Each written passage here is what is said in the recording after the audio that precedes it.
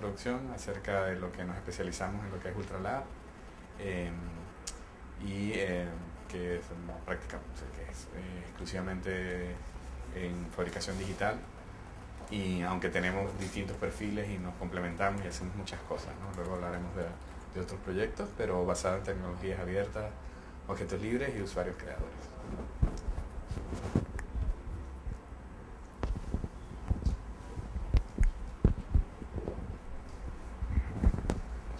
Hola. Bueno, a mí me toca hablar, pues claro, de la parte más, un poco más conceptual, si os o sea, si es un poco pesado, me decís si pasamos más a la parte más de operativa, ¿no? Más de con la máquina. Bueno, la idea es un poco eh, contar en qué esto de fabricación digital abierta y de como conocemos el software libre, ¿no? Pero eso es hardware libre. Entonces la misma filosofía de que no haya, o sea, que las, las, reglas de propiedad intelectual son diferentes, ¿no? Y eh, qué impacto puede tener esto y sobre todo, o sea, primero, de dónde viene y qué es su probable impacto en realidad. Entonces, como para empezar, retomando el título de, de la presentación, pusimos esto, entre las manos de los usuarios creadores que manejan las tecnologías abiertas nacen los objetos libres. Era un poco un guiño ¿no? a, un, a un inicio que podría ser un poco como una novela épica, una cosa así. Y en realidad, más que nada, es el inicio de un movimiento que nosotros, bueno, confiamos que puede transformar muchas cosas. Em, es un movimiento que no sé si entonces de fabricación digital, pero sobre todo que tiene esta característica de fabricación digital abierta. No sé si habéis escuchado ya hablar de esto, esas máquinas como esta pequeña máquina que es una impresora 3D, una máquina que es escala individual, ¿no? Que es, bueno, ya luego entraremos con más detalles en, e, esto. Es un, un movimiento bastante importante ya, bastante difuso un poco, bastante discreto también, pero empieza a trastornar, trastornar em, los intercambios de los objetos físicos, ¿no? como lo vimos con las producciones digitales, con la música, con los vídeos, con todo esto, está afectando ya los, objetos físicos. Eh, ¿De qué manera? Pues de la misma, es decir, que da poderes de creación de una forma mucho más eh, accesible ¿no? a los que eran los consumidores y que se vuelven a ser pues mucho más cerca de la creación ¿no? de creadores. Eh, también la escala, ya veremos que eso es una, una máquina personal. la, la, escala de la producción cambia, no es tan industrial como podía ser en el siglo XX, exactamente como los productos digitales, ¿no? como la música, por ejemplo, pero eh, llega a escalas, digamos, que pueden, o sea, locales. Luego a ver si son individuales de verdad o si más bien se se, eh, existe a, escalas de, a escala de un barrio o a qué escalas hay que inventar para que eso, para que eso existe y para que se sistematice. Em, y también eh, cambia pues, el, régimen de, propiedad ¿no? y de la propiedad intelectual, lo afecta. Eh, entonces, pues para avanzar un poco, bueno, eso es un poco el resumen de lo que intentaba decir. Y eh, bueno, muy rápidamente, ¿de dónde podemos, no, de dónde podemos, dónde podemos encontrar las raíces eh, conceptuales y de dónde, de, dónde surge este, este movimiento? ¿no? Eh, pues primero, digamos, los cambios conceptuales que hemos visto, o sea, que han aparecido, emergido ya desde los años 70, ¿no? del siglo 1970 por ahí. Es una organización, la emergencia de organizaciones más rizomales, ¿no? organizaciones rizomales, es decir, más eh, horizontales, que tienen ramificaciones, que no necesitan centralización, y es lo que está pasando con este, con este, con este movimiento y con un diseño que es abierto. Es decir, que el diseño de esta máquina, por ejemplo, eh, se puede reusar. Tú lo puedes coger y puedes reusarlo, modificar lo que quieres en la máquina. Eh, bueno, luego ya eso lo, lo, profundizaremos eh, bastante. Eso, eh, entonces son movimientos que son así más difusos, que se funden sobre comunidades. Exactamente podemos pensar en los modelos de las comunidades del software libre. se organizan bastante, o sea, del, mismo, de la misma forma. Luego, el segundo punto, que es, eh, pensamos que es esencial, ¿no? es la transformación de, la propiedad, ¿no? de la propiedad, el paso de la propiedad al acceso. Eh, como ejemplo, pues, por ejemplo, la música, ¿no? necesitábamos o queríamos los CDs en la casa, por ejemplo, el objeto físico, tenerlo en nuestras casas. Ahora lo que queremos es solo tener acceso a esta música, ¿no?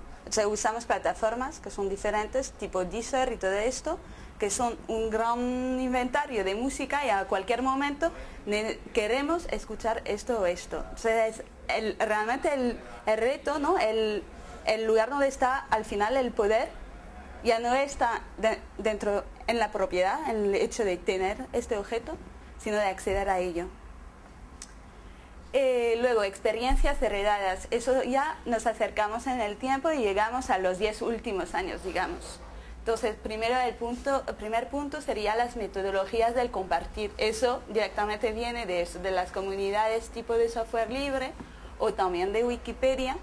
Eh, las metodologías del compartir bueno, seguramente no es como una voluntad. Yo quiero cooperar dentro de un movimiento para contribuir a algo que creo que está bien, que identifico como algo bueno para la colectividad.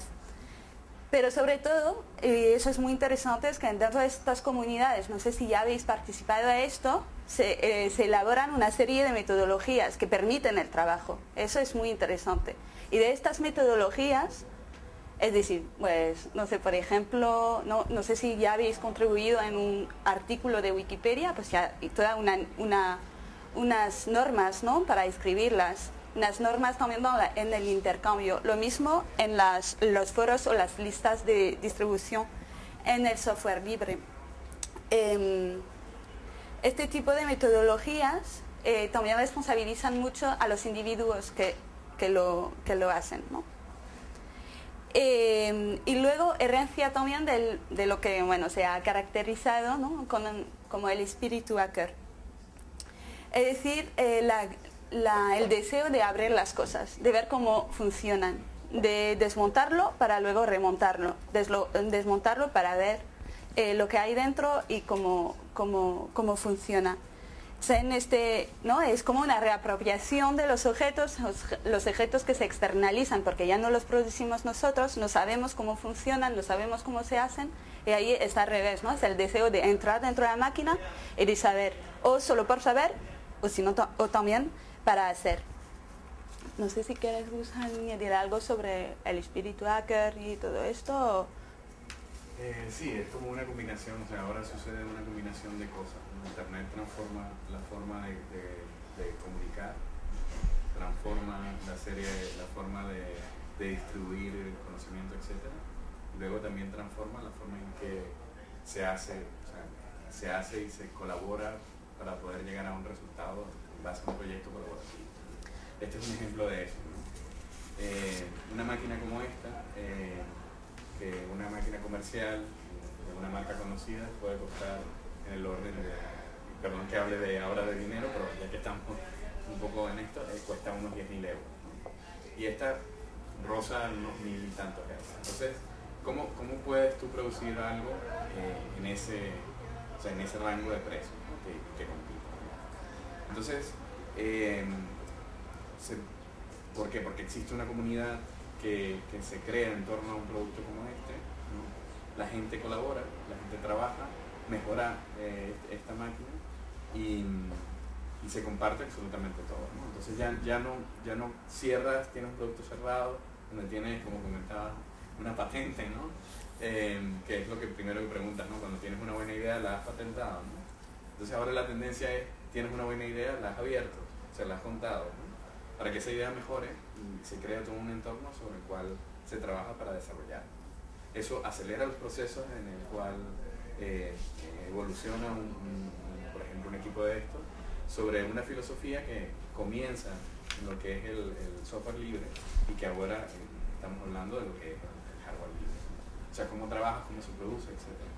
Y en cómo repercute eso y cómo cambia simplemente modelos de negocio, o sea, cómo se hacía antes negocio, cómo se hace ahora. Bueno. Perdón, sí. ¿no?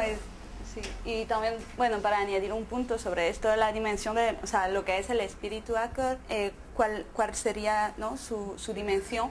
Bueno, no, sé si es un imaginario, si realmente es, es eso, pero esta eh, ¿no? idea de autonomía, ¿no? Cuando tú haces tu propia, tu propia cosa, es que eh, retoma, o sea, re, eres autónomo porque lo sabes hacer tú y, y, como que tienes un poder ¿no? muy importante que es el poder de creación. Entonces también creo que eso encaja dentro de, de, esta, de este espíritu hacker y que tiene mucho que ver, creo, con el éxito de, estas, de estos movimientos.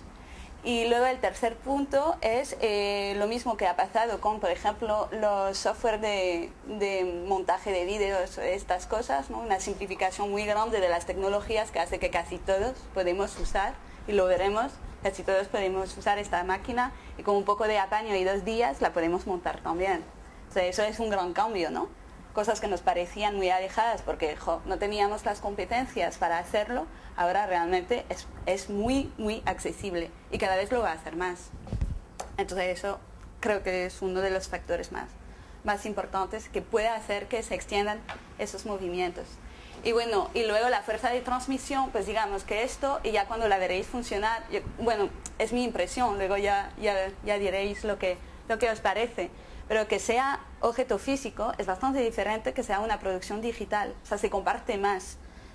Eh, uno cruza toda la tradición, todo lo que los domingos ¿no? hacíamos o hacemos, o los padres, o los abuelos, o las madres, o lo que fuera, ¿no? el, la espíritu este del, o sea, el bricolaje reparar tus cosas, etcétera, ¿no? O sea, cruza esto, cruza comunidades súper constituidas que igual no le dan el mismo sentido, ¿no? Pero lo cruzan, o sea, le da mucho, mucha potencia.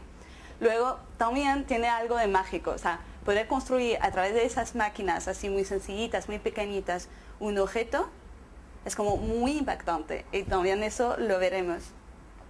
Y para acabar, pues no somos seres virtuales, es decir, que la accesibilidad de un software como software o la accesibilidad de un objeto es muy diferente. A cualquier persona le puedes enseñar esto, le puedes enseñar pues, el, anillo que yo llevo y decir, mira, esto tú te lo puedes hacer. Y es que esta máquina te la, te la imprime, ¿no? Tiene un poder de transmisión muchísimo más alto que explicar a alguien cómo se hace un software que te permite que el sistema operativo es libre, es mucho más, es mejor Linux que tal. Bueno, pues eso es como más, o sea, más alejado en general de la gente. Entonces, un poco este, ¿no? este paseíto entre cambios conceptuales, experiencias recientes, pero bastante potentes a nivel, a nivel organizacional sobre todo, y la fuerza de transmisión de, esta o sea, de este movimiento es un poco, o sea, es sencillamente una introducción para decir que nosotros pensamos que eso es el inicio, eh, la posibilidad de una transformación bastante importante a nivel entonces de, de la producción, ¿no? de la producción ya no industrial, pero de la producción qué será, cómo será exactamente, pues ahí habrá a todos ¿no? de pensarlo.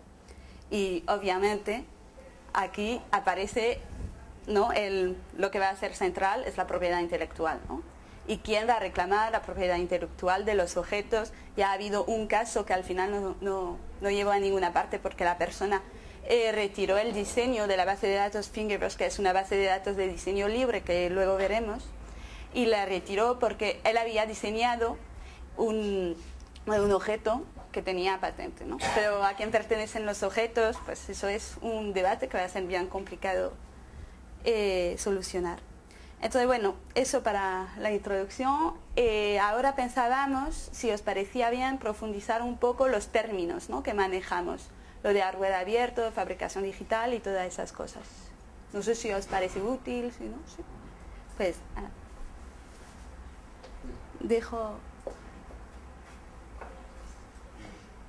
Pues, pero necesitas. Un momento sí ah bueno luego ya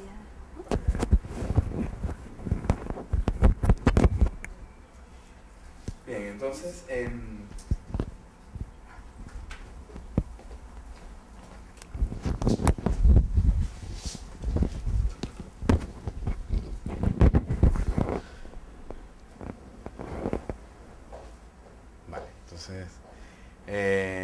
bueno, al, tema principal, ¿no? Las tecnologías abiertas, objetos libres, usuarios creadores.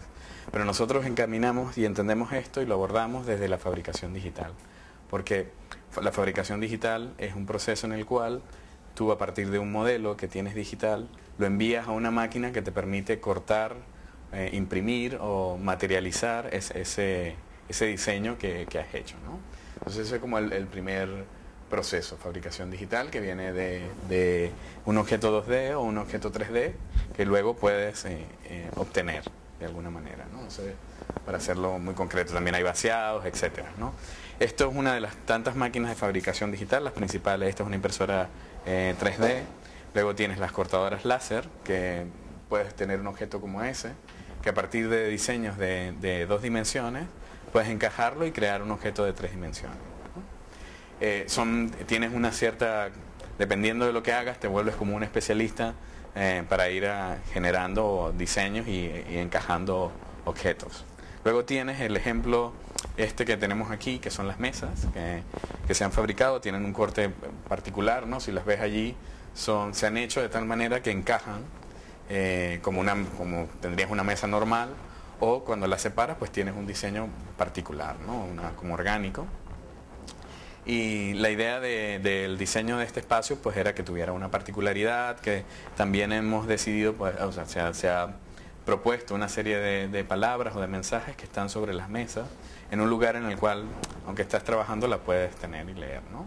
Entonces empiezas a, agregar elementos totalmente mm, customizados o personalizados en un espacio en el cual antes no lo hacías. ¿no? Donde eh, empiezas a cuestionarte mm, si es más caro o no es más caro ¿no? producir, ¿no? O sea, si vas a un gran, una gran superficie puedes obtener una mesa como esta o tienes una, eh, una mesa como esta con unas características muy particulares. Eh, lo más importante de esto es que empiezas a entrar en la cultura del prototipado, ¿no? a, través de la fabricación digital. ¿Por qué? Porque antes, para poder hacerte una mesa, pues nunca te la hubieses hecho en la vida. Eh, si haces un taller de estos y aprendes a utilizar una máquina o incluso simplemente aprendes a dibujar una cosa muy concreta, lo puedes cortar y en, unos tres o cuatro días ya puedes empezar a prototipar. Entonces rompes esos, esos procesos donde solamente quien era capaz de poder modelar y llevar a cabo eh, eh, llevar a cabo un objeto, por decir algo, ¿no? Em, tomaba una, alguien tomaba la decisión por ti, de repente tú ibas a la tienda y, sabías que podías encontrar un objeto que lo comprabas, ¿no? Que más o menos te, se, ajusta un poco el color y tal. Ahora no, ahora incluso puedes tener una necesidad muy concreta en tu casa y decir, bueno, pues yo quiero, necesito un gancho para la ropa, ¿no? Para colgarla algo en la entrada. Entonces, pues, decides cómo lo vas a poner y lo haces y lo tienes, ¿no? Entonces estás cubriendo una necesidad real, ¿no? Más de lo que se impone o lo que simplemente eh, alguien capta tu atención de alguna manera por, por algunos métodos para quedarte una necesidad que, que tal vez no, no, es, no exista, ¿no? Este, Daniel, puedes pasar. Daniel nos apoya en la parte técnica, va a operar ahora la máquina. Pues puedes pasar. Em, entonces vamos a hacer un ejemplo de lo que se puede hacer con, ella. Entonces, em, ¿qué pasa? Em, para resumir un poco, como me estoy extendiendo, dentro de este tema de fabricación digital, prototipado, etcétera, se crean los Fab Labs. Tenemos, esto está un poco eh, con la idea de esos Media Labs, donde inicialmente eh, en el MIT se crea un laboratorio que desarrolla interfaces eh, hombre-máquina, ¿no? Y empiezan a experimentar cómo, cómo puede un hombre relacionarse con un ordenador, básicamente. Ahora, ¿qué pasa con los Fab Labs? Ahora son, estos son laboratorios de fabricación digital donde se personaliza la fabricación y donde se empieza, a, bueno, en el centro de Forbidden Anatoms, em, donde, donde nace y donde se, fomenta esta idea de, estos laboratorios para que, para hacer, bueno, por muchas razones, pero prácticamente para acelerar el, proceso de prototipado, ¿sí? Y em, luego ahí tienes en paralelo cómo, cuando generas un diseño, ¿qué haces? ¿no? ¿Cómo, ¿Cómo avanzas sobre eso? Pues entonces creas un espacio colaborativo donde, donde tú publicas y donde tú vas contando, que es más o menos el modelo educativo de, publicaciones, pero llevado a, unos diseños concretos, a unas máquinas, etc. Hay todos unos modelos, eh, tienes las cortadoras láser, las impresoras 3D, las impresoras de corte numérico, perdón, las fresadoras de corte numérico, que puedes hacer ya algo como, como una mesa o algo por el estilo con las que hacen estos grabados, etc. Luego, pues ya personalizar un poco implica, pues, que la quiero de color tal, pues ya aprendes un poco a, pintar, ¿no? Y ese tipo de cosas. Eh, bueno, la idea un poco muy rápidamente era, eh, bueno, no sé si es muy útil o no, bueno, en torno al Fab Lab, el Fab Lab entonces, como decía Gustavo, nace de una idea del MIT, del Centro Center eh, for Bits and Atoms, en 2001, si no me equivoco. Es un señor que se llama Neil Gershenfeld, no lo digo bien. Eh, la idea es que ellos necesitaban eh, máquinas para producir, o sea, necesitaban en un espacio muy ubicado, es decir, el laboratorio, fabricar cosas. Entonces, eh, tienen, obtienen financiación para obtener estas máquinas, lo hacen, se dan cuenta con estudiantes y tal que necesitan, que uno tiene un uso super, ¿no? que se puede exportar bajo la forma de Fab Labs, es decir, de unidades así como, como los Media Labs de unidades de, de máquinas que permiten producir en espacios, relocalizar la producción, digamos. Y eh, por otra parte necesitan una parte de formación para enseñar a los estudiantes cómo eh, usar las máquinas. Y de esto nace todo un entorno que son pues, los Fab Labs, Fab Labs, que son como las unidades de producción, luego la Fab Foundation, que eh, da una especie de label, ¿no? de sello de que tú eres un Fab Lab, porque el Fab Lab eh, necesita, o sea, contesta una serie de requisitos que mm, es el acceso, el, bueno, hay toda una serie, el tipo de máquinas, etc. Y eh, también hace la Fab, la Fab Academy, que he perdido en mi esquema, pero que está aquí, eh, la Fab Academy que se certifica ¿no? en el manejo de esas máquinas. O sea, que ya existe un ecosistema bastante bien determinado, definido, en torno al, al Fab Lab, que ya tiene casi, que ya es una idea que tiene 10 años. Sí, pero hay que decir que también hay iniciativas independientes que no están asociadas al MIT y que, tienen la misma connotación y que tienen, utilizan máquinas similares y que simplemente no están con ellos, pero que están con la misma filosofía, con el mismo modo de trabajo y que al final en algún momento se, se encuentran. Bueno, lo que es interesante también añadir es que la fabricación digital es una, una realidad técnica, digamos, aunque tenga consecuencias sociales importantes, y el hardware abierto es otro. El hardware abierto es como el software abierto, o libre más bien, entonces es lo mismo, es decir, que esta máquina que es un hardware abierto, pero hay otros, muchos otros proyectos de hardware abiertos, se puede usar, el diseño se puede usar, está, todo está bajo licencias libres, ¿no? Eso es una cosa muy, o sea, es, como, es determinante, determinante ¿no? Entonces aquí, eh, pues una definición, una definición, digamos, oficial del Open Web Summit, de una web cuyo diseño está públicamente disponible. Cualquier persona puede estudiarlo, modificarlo, distribuirlo, fabricarlo y vender diseños o más web basado en el original. Sus fuentes son accesibles y los componentes, herramientas y documentación están idealmente abiertos y sus procesos estandarizados, que eso es otro, o sea, es un punto muy importante ¿no? de, de, la cultura libre, la estandarización. Y esa es, bueno, y nada, la definición eh, es así como más o menos, más o menos oficial. Entonces existen pues muchos proyectos, un proyecto de la primera, el primer proyecto ¿no? de máquina de impresora 3D abierta mi link no funciona. ¿Es la retro? Sí. Y, bueno, y en torno a esto veréis que hay eh, un montón de otros proyectos que son bastante potentes, como Arduino, que igual habéis visto el documental anteriormente, y que tiene esta, ¿no? esta, este punto en común de, de, eso, de dejar libre todo, todo el diseño relativo a, a ello. Entonces, ¿qué queremos decir con esto? Es que es la fabricación digital que se mezcla con el hardware abierto y que hace fabricación digital abierta, que es este tipo de máquina. Más o menos eso sí. Sí, bueno, mientras Daniel termina de calentar la máquina, que tiene su proceso. Em, Sí, quería comentar el, el entonces, la, por ejemplo, la idea es que nosotros publicaremos eh, el diseño de estas mesas, por ejemplo. O sea, la idea es que esto estará con, con su plano, con el, con el, con el, con el, con, el esquema que te puede, que puedes utilizarlo para enviarlo a una máquina, sí, e imprimirlo. Y también transformarlo. O sea, tú podrías cambiar simplemente un poco el diseño, hacerlo más grande, más pequeño, o o simplemente y pintarlas de otro color, ¿no? sin tener, eh, tener un, un costo adicional en ese sentido. Entonces, eh, es simplemente que estos procesos, eh, aunque, aunque no ha- hay, hay un beneficio, un beneficio muy importante y es que se enriquece la forma en que se genera conocimiento y, que se generan y que se amplía el diseño sobre el cual se está trabajando. Si no se quedaría allí, ¿no? Y se quedaría allí guardado y nadie tendría acceso a estas cosas. Entonces son simplemente los nuevos modelos de producción sobre los cuales eh, eh, nos encontramos y nosotros como Ultralab, si quieres puedes poner la página web y, yo voy contando un poco el proyecto.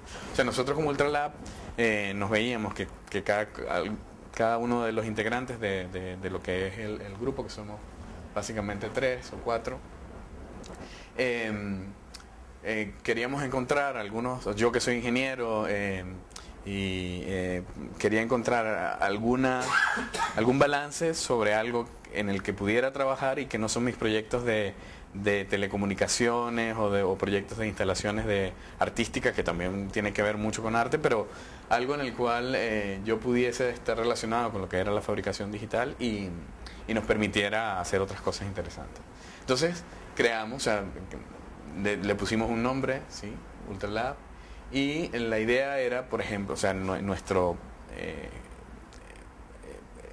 eh, sitio online y nuestra tienda online gira en torno a esta, esta máquina. Y la forma en que nosotros convencimos a, los, a los creadores a los, de esta máquina era que queríamos crear una comunidad y ahora se presenta ella misma, em, que queríamos crear una comunidad para darle soporte en español, ¿no? Ellos tienen una comunidad muy, muy grande, pero todo está en inglés. Eh, otra cosa que, da gran cobertura a este tipo de, hardware, eh, puedes mostrarle lo de Thingiverse, es que se ha creado en paralelo, esta, esta es como una gran librería de objetos que se llama Thingiverse, donde cada vez que, genera- que haces un objeto en 3D lo publicas allí, ¿no? bajo una licencia abierta. Y entonces cuando tú necesitas algo, pues es posible y tienes tu máquina, pues puedes entrar allí y buscar un objeto que luego modificas e imprimes. ¿no? O también simplemente objetos que ya hayas hecho, pues puedes simplemente imprimir, eh, perdón, eh, publicarlo. ¿Quieres contar algo más? No, luego. Sí. O sea, muchos. Y da sencillamente a concluir un poco sobre la dimensión teórica, digamos. Y después contamos cosas. Y luego ya, si Vale. queremos, Cántalo hoy. Bueno, ¿alguna pregunta antes de continuar? Porque ya vamos a la parte de... Las- Los distintos modelos como el Big Rap o este o el Artist o no sé qué, ¿qué diferencia hay entre qué modelo? Bueno, ¿por qué hay distintos? Pero hay... Sí. Ah, Distintos modelos. Bueno, lo repites, repites. no, no, eh, digo, eh, cuando hay, por ejemplo, esta que se llama MakerBot, Ah. o el Big Rap, o el Andromatic, ¿Cuáles son las diferencias? Sí. Eh, ah, ¿Puedes ir a donde están los modelos?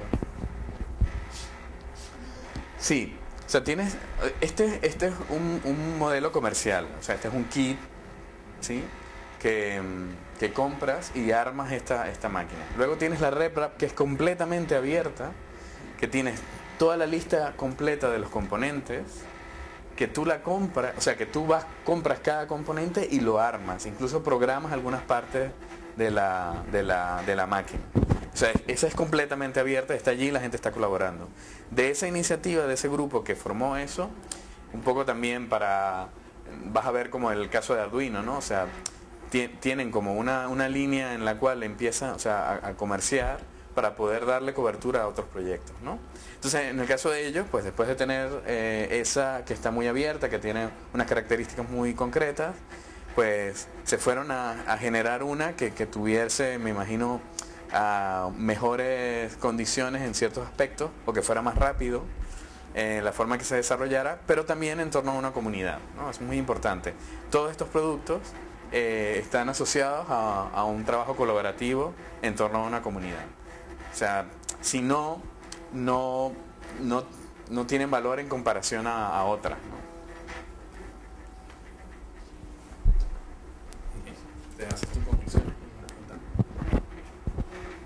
Pero esas son las diferencias, lo vas a ver en algunas son líneas comerciales. Este, por ejemplo, utiliza una, tarjeta Arduino eh, que fue modificada para, exclusivamente para, ella. Y otra que simplemente no está modificada y que, es Arduino la Mega. Pero digamos, esto sale de un hardware abierto, que también es Arduino. Y ahora Arduino, si ven, si entran en su página, ellos mismos están comercializando para poder ellos potenciar la forma en que investigan y desarrollan. Eh, anterior, cuando Arduino salió, eh, que costaba lo mismo que costaba ahora, que es alrededor de 25 euros, la, tarjeta comercial similar más cercana costaba 200 y la siguiente costaba alrededor de 600 euros. Entonces, claro, luego un artista que quería hacer algo no podía, o sea, tenía que invertir hasta 600 euros solo para tener el hardware para producir algo. Ahora para prototipar, pues tiene una que cuesta 25 euros, no hay problema en ese sentido. No, algunos se quejan de que este tipo de productos no son muy profesionales, muy complejos, o sea, como que no cubren otros aspectos, pero sí, se están cubriendo la necesidad de poder prototipar o empezar a, ensayar con algo para tú definir y enmarcar cuáles son tus necesidades, que luego puede ser más complejo y puedes irte a algo más específico, pero, pero es un buen comienzo, la forma de aprender y a, apropiarse un poco.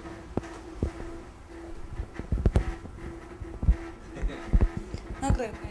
No, vamos a no sé si tenéis más. No sé. Como queráis vosotros, realmente, porque creo que es mucho más interesante esto, ¿no? Bueno, si se acercan les puedo explicar un poco en qué consiste la máquina. Ok. Mm. Es una máquina de control numérico. O sea que el ordenador está controlando... Ay, perdón. Una impresora 3D, pero evidentemente hay un control numérico. Y tienes eh, vas siempre a ver mm, tres motores, ¿no? En este caso tienes el que controla eh, la X, la Y y la Z, ¿no? Los tres ejes. Y lo que hace es que mueve la plataforma, esa plataforma que está allí, que está caliente, tengan cuidado, no acerquen, ok, está un poco caliente porque está derritiendo el, el plástico que está entrando allí tira del plástico, entra y esto es como una eh, pistola de, de, esta de cola caliente, ¿no? Donde va derritiendo y claro, lo que se encarga el extruder, ¿no? Es de mantener el hilo, el filamento que sale como con el mismo grueso, ¿no? Con la, con la, misma es de, o sea, totalmente igual y que, y que a una temperatura de manera que, que el proceso aditivo permite que se vaya uniendo ¿no? vaya sumando todas las capas y entonces pues generas un objeto. ¿Cuál es el origen de esto? Pues es un, es un objeto 3D que está aquí colocado ¿no? en, dentro en, la, en la plataforma y que tiene pues, pues todas las características del objeto, ¿no? Eh, altura, ta, ta, ta, etcétera, y el modelo.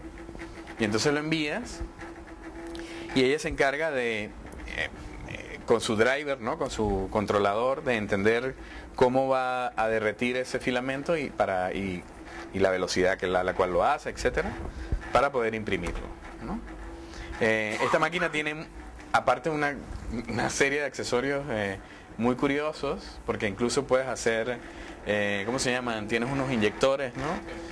que utilizas con, con, con, un compresor, le pones un compresor que te mantiene una presión constante de un de un material que puede ser eh, comestible, ¿sí? Que es comestible, entonces puede decorar una pequeña galleta y cosas por el estilo, exactamente, ¿no? Eh, ¿Qué otros accesorios tiene así curiosos? En un plotter, ah, en el que pones una, sí, pones una plumilla, ¿no? Y, puedes hacer un dibujo, ¿no? Como en el caso de una impresora. Esta es la base, eh, nosotros aquí hemos ya que estamos eh, haciendo como más robusta la, máquina para las demos, Eh, no tenemos aquí la, la plataforma automática, pero esta, no, no la tocan porque está caliente todavía. Eh, uno la deja un ratito y luego la sacas y ya está.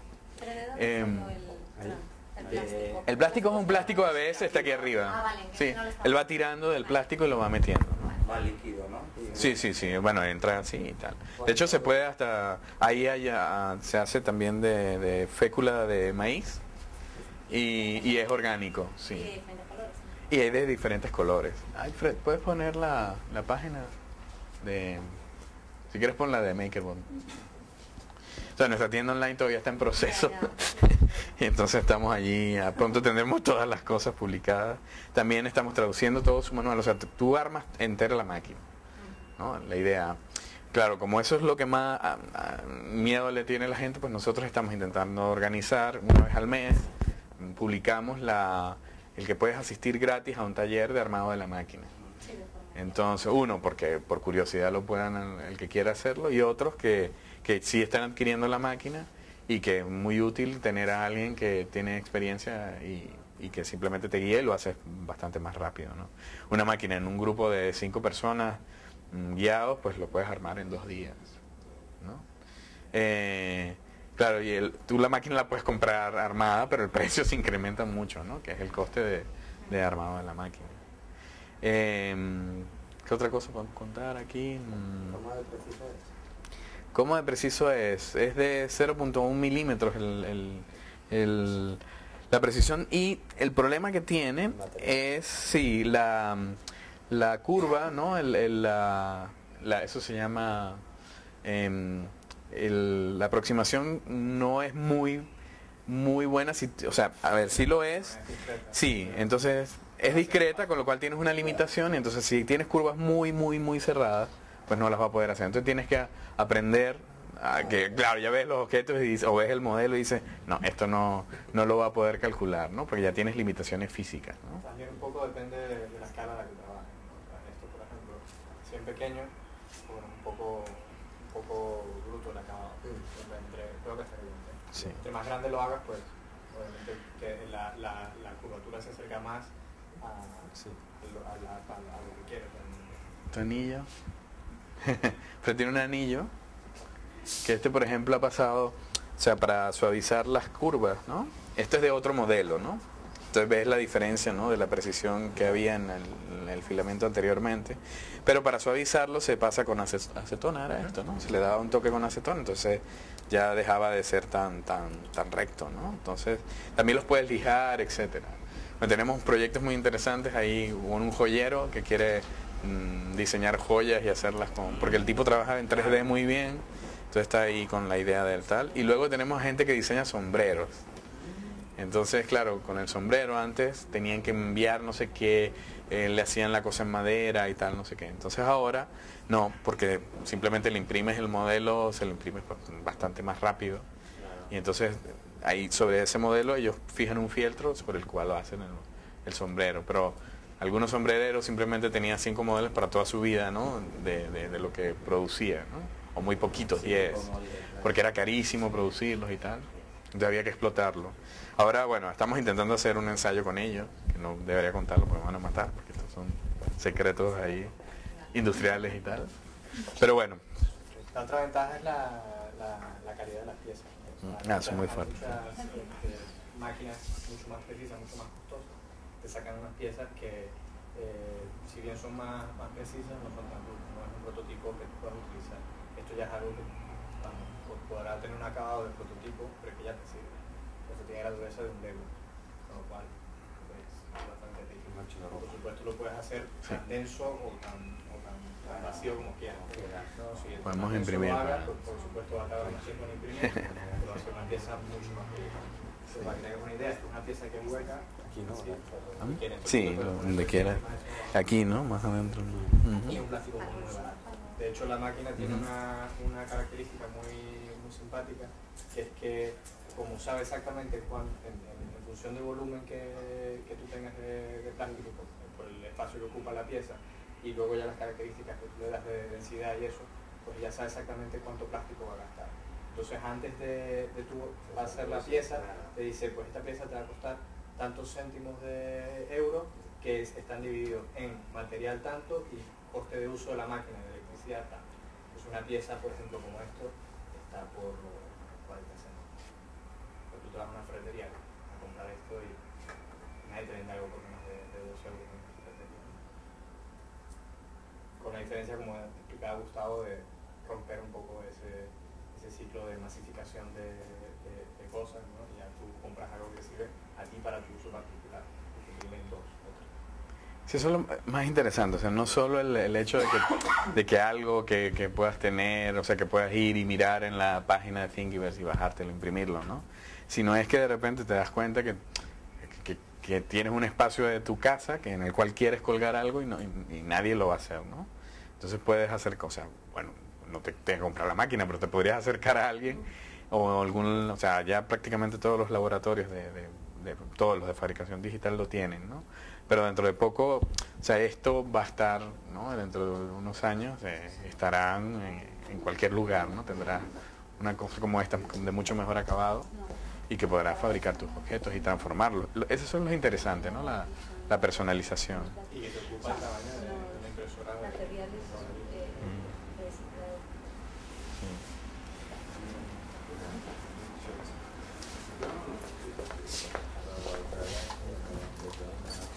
Bueno, si tienen más preguntas.